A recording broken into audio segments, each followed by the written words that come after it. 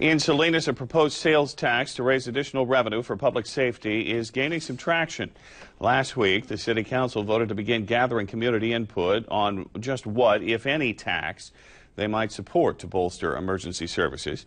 Today, a group in Salinas announced their own separate initiative for the one cent sales tax to be used for police and fire. It is coming, though, with some controversy. Action News reporter May Chow has details live from our Salinas newsroom. Dan, before going forward on any tax measure, city leaders want input from residents. So the city's hired a polling firm to ask people what they want and where they feel the money should be spent. But the Committee for Public Safety says the city does not need any survey and that it already knows what residents want and we can no longer stay idle and do nothing about it. Both the city and independently formed Salinas Committee for Public Safety want the same thing a new police department and more officers, and additional funding for fire and code enforcement. The city has proposed a half cent sales tax, which would generate about $10 million a year. How much of that goes to police, fire, and code enforcement is yet to be determined. At our last council meeting, uh, we authorized to do a survey so we could get a full input from the whole community.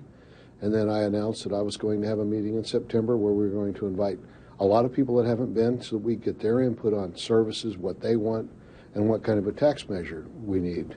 But the 12 member Committee for Public Safety, which has held its own community meetings, announced Monday its campaign to place a one cent sales tax on next June's ballot. The group believes the proposal will raise $20 million, but it would be a specialized initiative as opposed to a general tax. Their reasoning to assure any money approved by taxpayers will go specifically to public safety.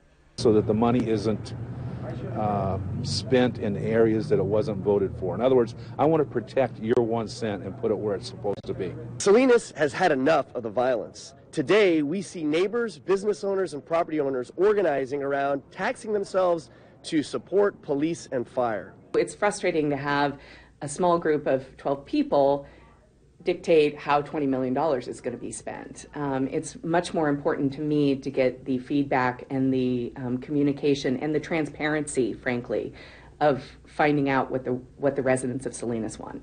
The committee says it would form an oversight committee to review spending and ensure funding fulfills what residents voted for. Who are these people that are going to make this decision? Do they represent the whole community?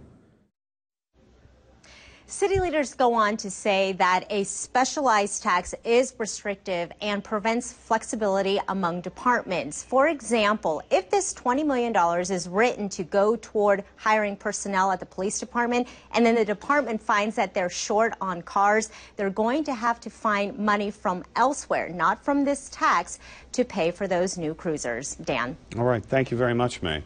The mayor, Joe Gunter, will hold a public meeting Wednesday, September 18th. It happens at Madonna del Sasso. They'll talk about that public safety tax measure. That meeting gets underway at 6 o'clock.